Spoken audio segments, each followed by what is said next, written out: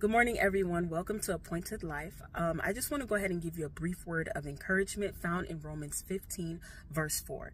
And it says, For whatever was written in the past was written for our instruction, so that we may have hope through endurance and through the encouragement from the scripture.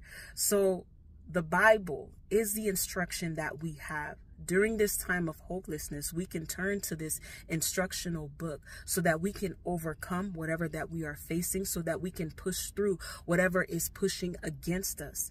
Um, sometimes we think that we're in this by ourselves, but we have a we're surrounded by a cloud of witnesses that was able to overcome, endure, and prosper in the life that God has given them. So today I want to encourage you in your midst of feeling hopeless, remember that there is hope, and that hope is found in Jesus. And I encourage you to visit my blog at appointedlife20.com, where you can be further encouraged, inspired, and also challenged to live life God's way by applying His word. I pray that you have a blessed day and a blessed week.